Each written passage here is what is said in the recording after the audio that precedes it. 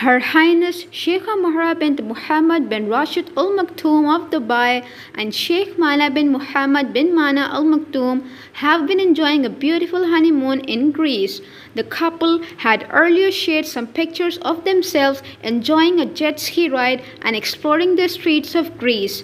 The stunning pictures of the couple have been widely shared on the internet as netizens gush over how adorable they are.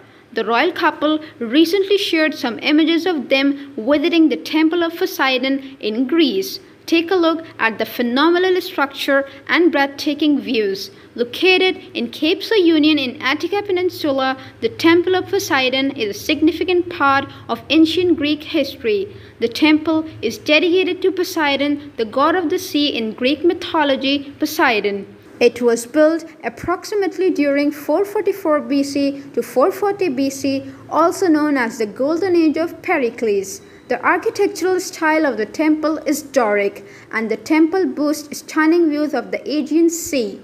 Notably, Her Highness Sheikh Mahra bin Muhammad bin Rashid Al Maktoum and Sheikh Mana bin Muhammad Al Maktoum tied the knot earlier this year in June 2023. Thank you for watching this video and stay tuned to us for more updates.